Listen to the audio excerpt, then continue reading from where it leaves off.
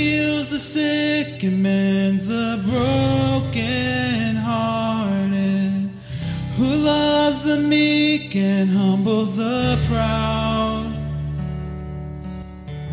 who formed the galaxies and makes the rocks cry out.